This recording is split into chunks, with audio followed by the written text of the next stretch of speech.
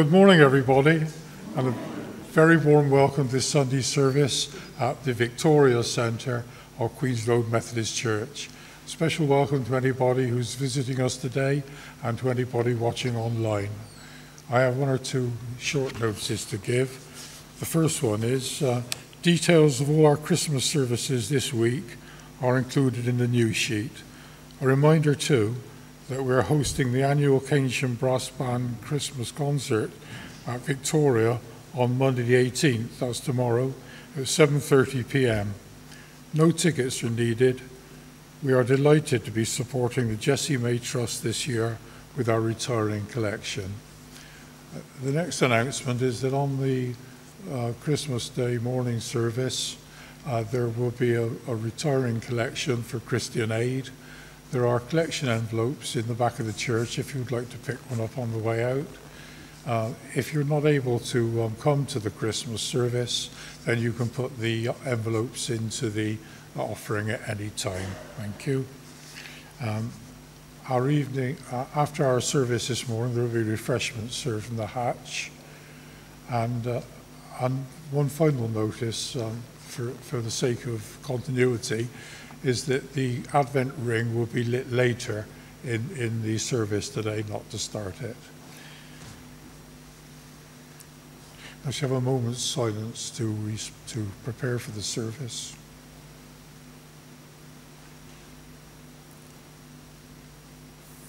And it's my pleasure to welcome Reverend Jan Tate to lead our service this morning. Thank you.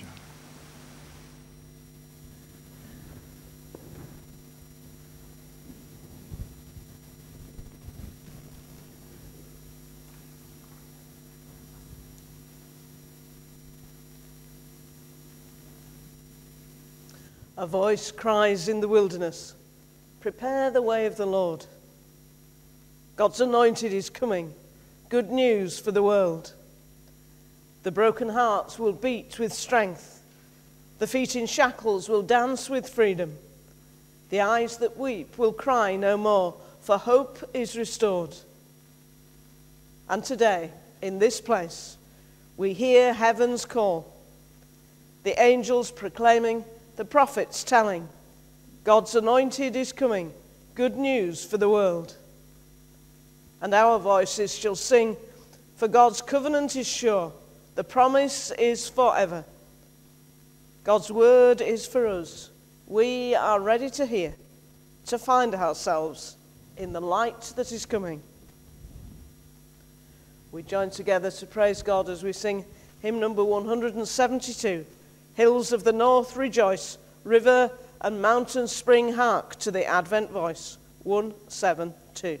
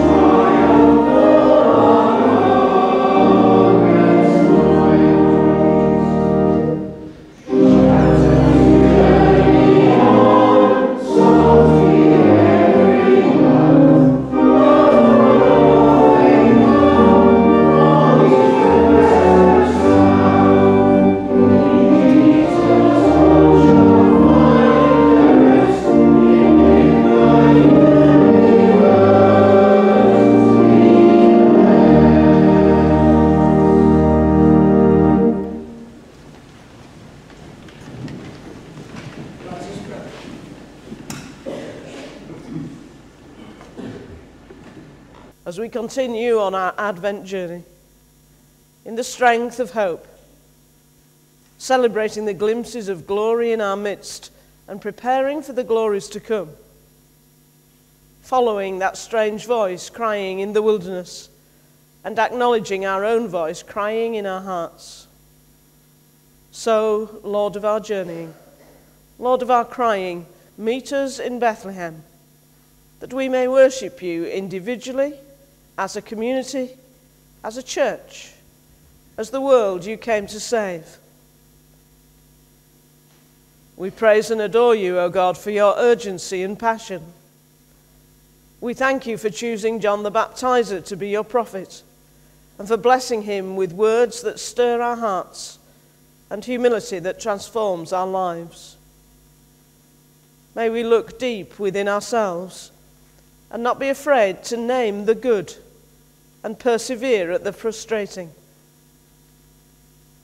Advent God, echoing down the ages with a voice of thunder, thank you for the warning voices who call us back from the brink of danger or destruction and comfort us with the good news of your love and forgiveness. Advent God, the wind of challenge and change, blowing from the desert around us and through us. Thank you for sending those uncomfortable, abrasive people who see through our excuses, confront our complacency, and strip away our pretensions. Advent God surging towards us with the sound of many waters, cascading over us like a waterfall. Thank you for the cleansing and refreshing, for your life giving love, and bringing us to birth in Jesus Christ. Advent God, the new broom that sweeps clean. Turn our expectations upside down searching for all who are lost and unnoticed. Thank you for those you inspire to spread the gospel in surprising places and in surprising ways. Advent God, traveling towards us at the speed of light, radiant as the sun. Thank you for those who shine your light into the darkness and confusion, reassuring, warming, and guiding us. Advent God, running to welcome us with a Father's embrace. Thank you for all who welcome and affirm us, whose strong, loving support reminds us of your everlasting understanding and acceptance, encompassing us everywhere and always, here and now. Advent God, who sees to the heart of the matter with unerring truth and mercy and knows how easily we are distracted and led astray. Thank you for all our companions on the pilgrimage of faith. May we help and encourage one another and fix our gaze on all that is good and lovely and right. Prepare us for the coming of your Son, our Saviour, Jesus Christ our Lord. Forgiving God as we prepare to celebrate your coming amongst us. Yet in many ways we act as though you were an unwelcome guest. You took the trouble to come close, like a child nestled in a woman's arms. Yet the cautious words we use to tell of you keep you at arm's length. We are sorry. Forgive us, Lord. We say you are all knowing intimately present in our lives. Yet we hide our inner feelings from you as though you were far distant. We are sorry. Forgive us, Lord. We call you Lord and King, yet keep areas of our lives closed to your influence and build barriers of self interest as though we were defending private territory. We are sorry. Forgive us, Lord. We celebrate the good news of your coming, yet fail to share it with others. We are sorry. Forgive us, Lord. Lord, as Advent moves on and Christmas dawns, may we know your closeness, open our lives to you, and share your life with others. In our hearts and lives, prepare the way for God. In our homes and workplaces, prepare the way for God. In our life choices and hopes, prepare the way for God. In our friendships and families, prepare the way for God. In our choosing and planning, prepare the way for God. In our joys and our sorrows, prepare the way for God. Prepare the way. Choose. Let go. Make room. For God is close. Salvation is near. Amen.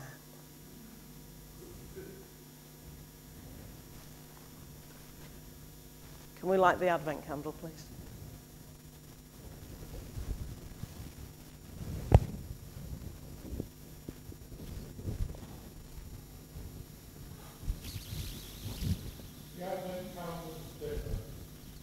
Casting shadows, spreading light, giving witness in the everyday, telling stories old and new. We remember that we have been asked to leave out our second candle unlit this year to remember the people of Israel and Palestine, as Christians in Bethlehem will not light candles this year in the place where Jesus was born. Advent God, shine from us today. When we've encountered God, we have a truth to tell.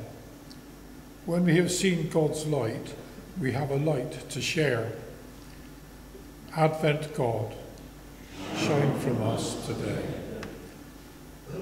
When our lives seem ordinary and full of faltering steps, God's light still shines and bids us to go and tell. Advent God, shine from us today.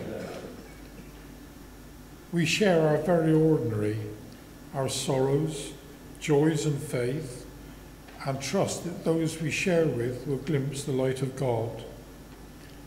Advent God, shine from us today. Advent God, we may feel we are not worthy to share your extraordinary message. We may feel we'll get it wrong. We don't know all the answers. We may feel we do not have the words, stumbling to say the right thing. Advent God, as we light our third candle today, shine upon us.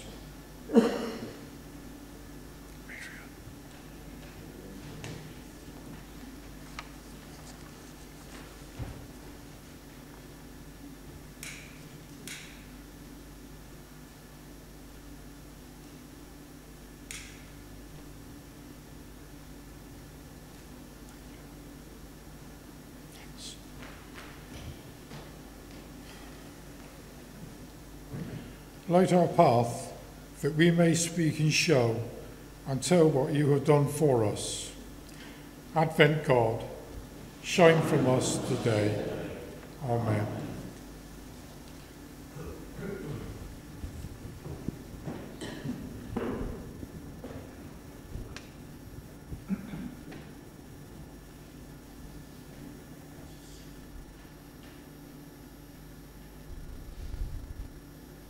We sing hymn number 706.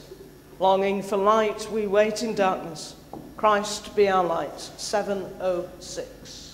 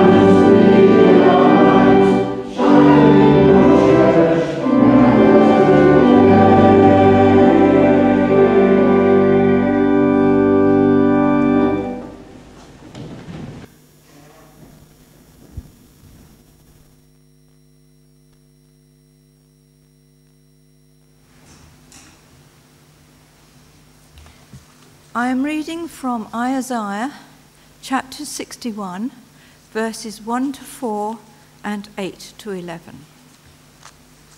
The Spirit of the Lord God is upon me, because the Lord has anointed me.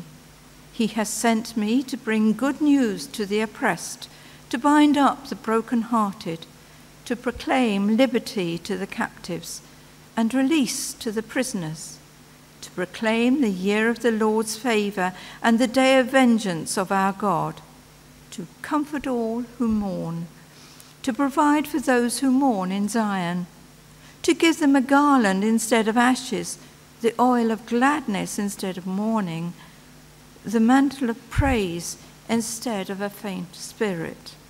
They will be called oaks of the righteousness, the planting of the Lord to display his glory. They shall build up the ancient ruins. They shall raise up the former devastations. They shall repair the ruined cities, the devastations of many generations. For I, the Lord, love justice. I hate robbery and wrongdoing. I will faithfully give them their recompense, and I will make an everlasting covenant with them. Their descendants shall be known among the nations, and their offspring among the peoples. All who see them what shall acknowledge that they are a people whom the Lord has blessed. I will greatly rejoice in the Lord. My whole being shall exult in my God, for he has clothed me with the garments of salvation. He has covered me with the robe of righteousness, as a bridegroom decks himself with a garland, and as a bride adorns herself with her jewels. For the earth brings forth its shoots, and as a garden causes what is sown in it to spring up, so the Lord God will cause righteousness and praise to spring up before all the nations. Amen.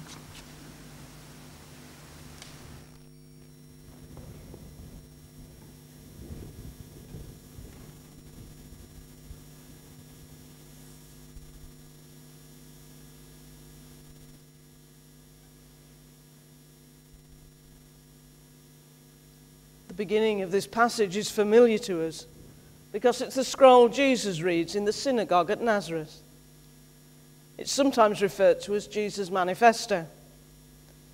Here, the speaker is depicted as an ideal king, inspired by the Spirit of God. We see not just fine visions, moving poetry, or religious ecstasy, but a deep commitment to justice. Justice brought particularly to those liable to be victims of injustice. The people's joy at coming home has been tempered by mourning. The city is in ruins. The prophet offers them a message of comfort and hope. God has not abandoned his people. They will rebuild and restore the city, and the nations will see that God is with them. The prophet affirms God's promise of an eternal covenant. Against the backdrop of a wedding feast, he sings a psalm of great joy for all that God has done. Something good lies just around the corner. We can't see it yet, but we know it's good.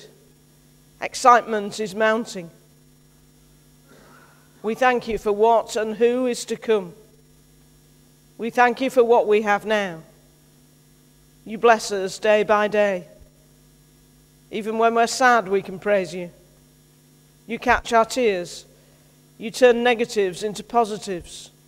You turn our dark times into light and make us laugh again, clothing us in garments of praise. You make the sun shine and the flowers bloom.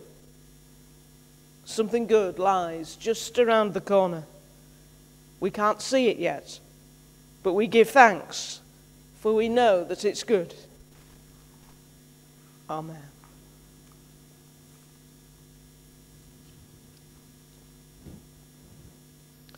We sing hymn number 171. Hark the glad sound, the Saviour comes, the Saviour promised long.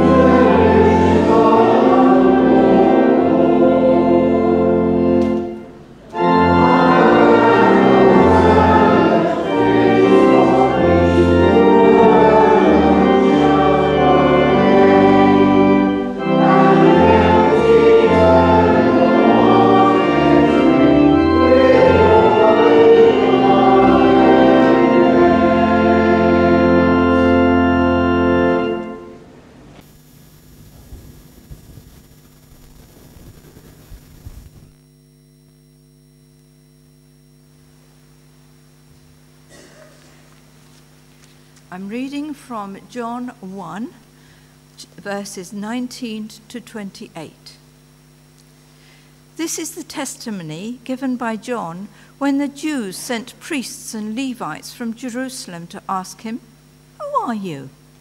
When he, he confessed and did not deny it, but he confessed, I am not the Messiah. And they asked him, What then? Are you Elijah? He said, I am not. Are you the prophet? He answered, No. Then they said to him, Who are you? Let us have an answer for those who sent us. What do you say about yourself? He said, I am the voice of one crying out in the wilderness, Make straight the way of the Lord, as the prophet Isaiah said. Now they had been sent from the Pharisees. They asked him, Why then are you baptizing if you are neither the Messiah or nor Elijah nor the prophet? John answered them, I baptize with water. Among you stands one whom you do not know, the one who is coming after me. I am not worthy to untie the strap of his sandal. This took place in Bethany, across the Jordan, where John was baptizing. Amen.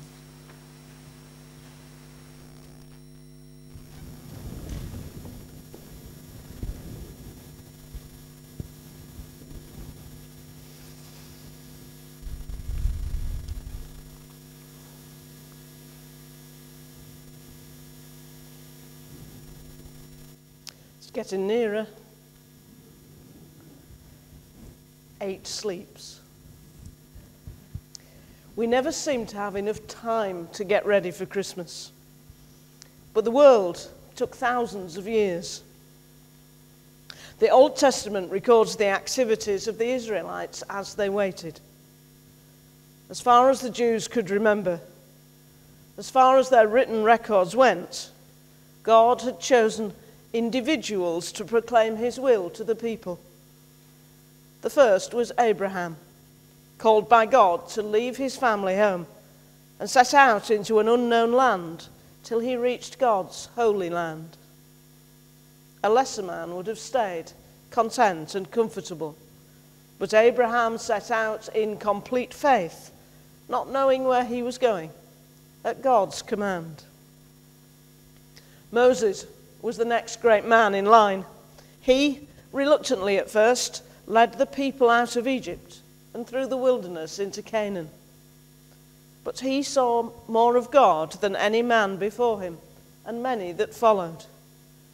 And then there was Joshua, Gideon, Samson, Samuel, Saul, David, Solomon, all chosen by God. Then there was the commencement of a line that was to have significance in both Jewish and Christian circles. A line of men who saw what God was saying in the present and looked forward to a future with God. The first great prophet was Elijah, the wild man of the Old Testament, campaigner for God's cause against the prophets of Baal, not afraid to speak against kings like Ahab. Elisha was his immediate follower. Then those great writing prophets, Isaiah and Micah from the southern kingdom, Amos and Hosea in the north. Jeremiah, a man for whom everything seemed to go wrong, but who still kept true to God. And the prophets of the Babylonian exile, Ezekiel, and that prince of prophets whose name we shall never know but who we call second Isaiah, the man who sees more clearly than anyone else what God is like. One or two minor prophets followed, and then in the time of Zechariah, the, the line of prophets seemed to stop.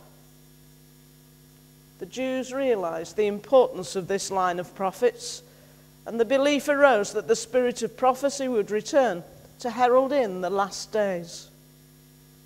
The prophets who summoned these days took different forms in different circles. Some thought he would be like Moses, a redeemer who works miracles and gives definitive exposition of the Torah, the law. Some thought he would be like Elijah, a fiery preacher who announces the imminent coming of the end and urges repentance in preparation for it.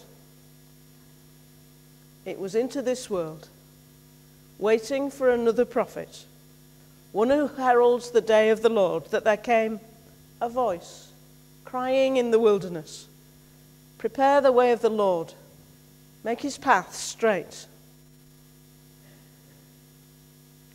It's no surprise that the people thought John the Baptist was Elijah. Many of them expected Elijah's return, and this man bore an uncanny resemblance to him. If Elijah was the wild man of the Old Testament, then John was the wild man of the New Testament. Now, John wore a garment of camel's hair and a leather girdle around his waist, and his food was locusts and wild honey. This man was just as they expected a preacher with an urgent call for repentance. John's ministry was centered in the wilderness, and the people flocked to hear him and be baptized by him. He prepared himself to be the forerunner of Messiah, and he devoted himself to reform. He adopted baptism as a symbol of his reforming activity and a gateway into the messianic regime. But the authorities and the upper classes were not as impressed with the Baptist teaching as the poor people. They sent representatives to him to find out exactly who he was and what he was up to. Priests were sent because both his mother and father were from priestly families. Officially, therefore, John was a priest, but his message and appearance were far from priestly. Pharisees were sent because they dealt with anyone suspected of being a false prophet. No, says John, I am not the Christ, and I am not Elijah. I am the one sent to point you in the right direction. His whole mission is to point the world in the right direction. He has come as a voice in the wilderness, declaring the way of the Lord. He comes bringing baptism as a sign of entry into the kingdom. And eventually, Jesus will come to him for baptism himself, for a sign that the kingdom has come. John and Jesus are very different characters. History says they were related, and John may be surprised that his younger cousin is the one who, has, who was sent to, he was sent to announce. Indeed, when he hears how Jesus behaves, he has his doubts. Jesus is not what he expected. But Jesus comes to John for baptism. He needs this symbol that he is entering the kingdom. He needs to know what God has in mind for him. Many people weren't sure about Jesus. He wasn't what they expected. He was born in a stable, not in a palace. He was visited by shepherds and foreigners not by Jewish royalty and religious representatives. He ate with tax collectors and prostitutes and sinners. He claimed that the kingdom of God was open to them too. He talked about God in such a new and familiar way. He wanted to affirm the holiness of the whole of life, not just the nice bits. And we see it first in a little baby. We see it in the cold and common straw of a stable. We look into the manger and we see God with a human face, God Himself, Emmanuel. We see the child that will become the man who makes God real, who shows us what holiness really means. It's very possible that Jesus wanted to be a baptizer like John but in his time of working out what God wanted from him, a passage from Isaiah emerged. Jesus realized he was not called to bring baptism, baptism as a sign of repentance or to preach God's wrath, but to bring in the kingdom, to make the world God's world, to do what God required. The Spirit of the sovereign Lord is on me because the Lord has anointed me to preach good news to the poor. He has sent me to bind up the brokenhearted, to proclaim freedom for captives, and release from darkness for the, from the, for the prisoners, to proclaim the year of the Lord's favour.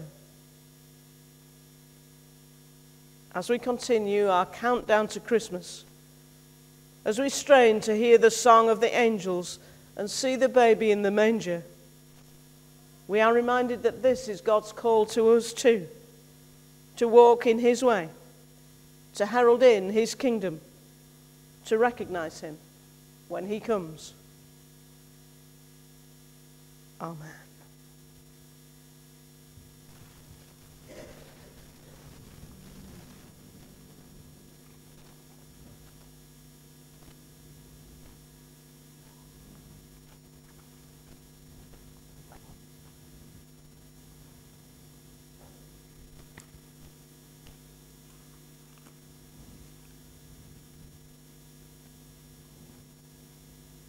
We sing hymn number 182.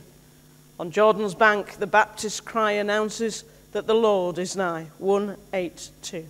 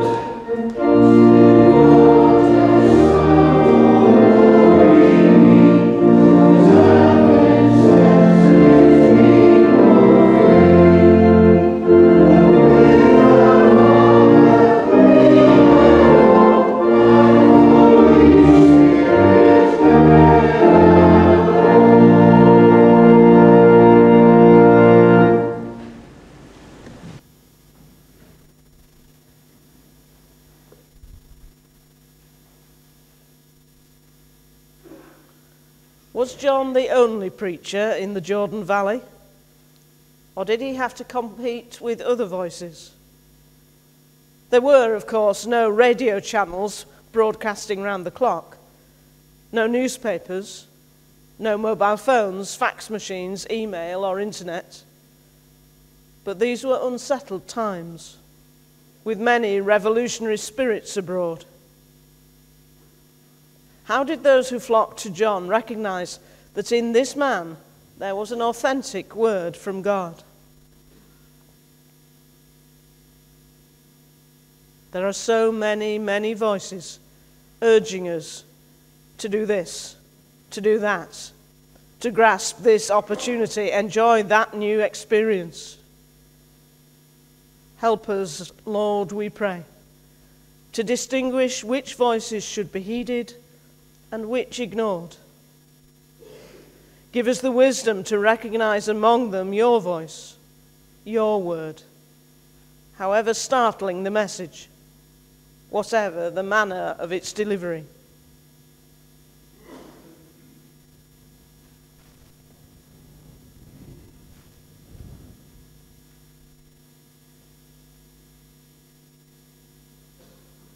We say a prayer as we offer our money and our lives. May our gifts of money be used to proclaim the good news of God's love, to bring comfort to the sick and bereaved, to call people to repentance and faith through the work of this church and the church in all the world, and in the name of the Lord who came in power. Amen. And we bring our prayers for the world. When I say the words Advent God, will you please respond, Hear our prayer? Advent God, hear our prayer. Almighty God, we bring our prayers and the concerns of our hearts to you. Our prayers for those around us, those we love and care for, those we hear of first or second hand, those whose situations cause us pain, anguish, and distress. As Advent preparations gather pace and thoughts turn to celebrating the birth of Jesus, we pray for those who are unaware of what Christmas is all about, for those who know nothing of your nativity, for those who do know you and strive to follow you, but feel overwhelmed by all that's going on around them and find it hard to share the joy we have in you.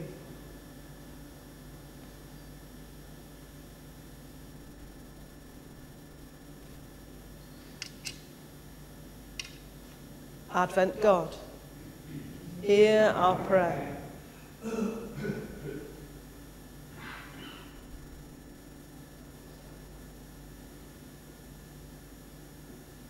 We pray for those who are uncertain of themselves, of their worth, their direction in life and purpose. For those who think they have nothing to offer to anyone. For those who think they are far more important than they are. For those who inflate their own importance to the neglect of what is right, loving, and caring to those around them.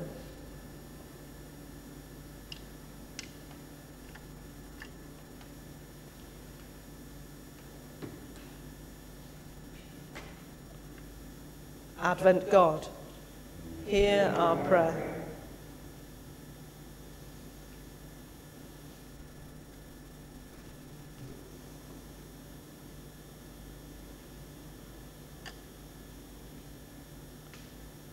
We pray for those who are laid low with illness, physical or mental, who can see no improvement nor path to better health for those who await tests and operations, fearful of the outcome and their future prospects, for those who are dying and know that death is near. May they know care, love, and support, and may they feel enveloped in a peace beyond understanding.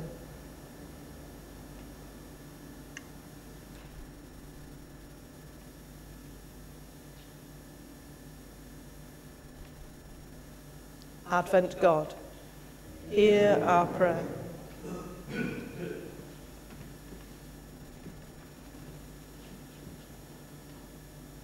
We pray for those countries embroiled in war and violence. For those for whom Christmas will come and go with violence, injury, and death all around them. For those who have no home, safety, or security.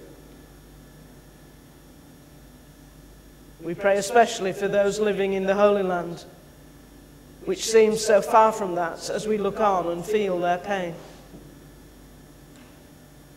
We remember too Ukraine and the violence meted out by the Russian regime and so many other war torn countries.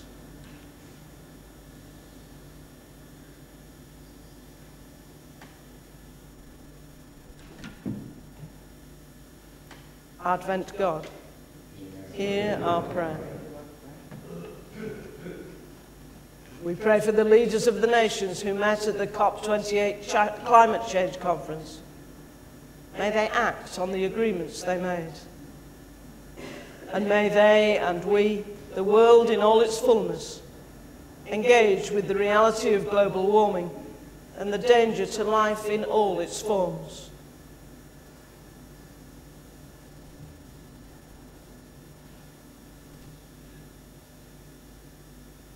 Advent God, hear our prayer. We pray for those who are re experiencing pain and anguish as a result of the COVID inquiry and all the questions, answers, and confusions that we hear daily.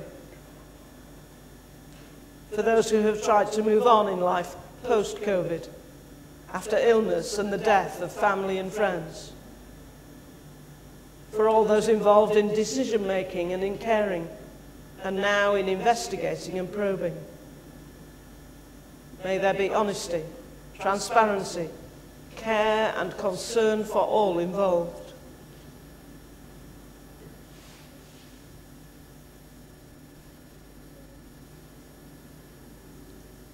Advent God, hear our prayer.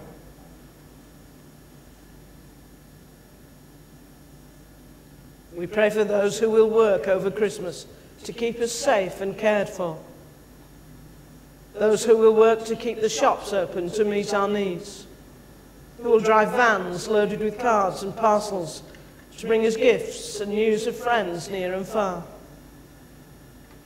We pray for those who will work to keep our electricity flowing, our gas pumps and water flowing from our taps.